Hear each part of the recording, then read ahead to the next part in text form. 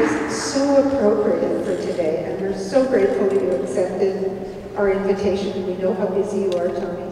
But if there was anyone, uh, he proved it as, a, as he was a longtime senator, and in his daily life and his life dealing with all organizations and all groups, he is just more than I can say. There's not enough nice things I can say. So, oh, yes, you're here to play the piano. I thought I just wanted to talk about Tommy. Um, so Tommy is going to favor us with uh, some music.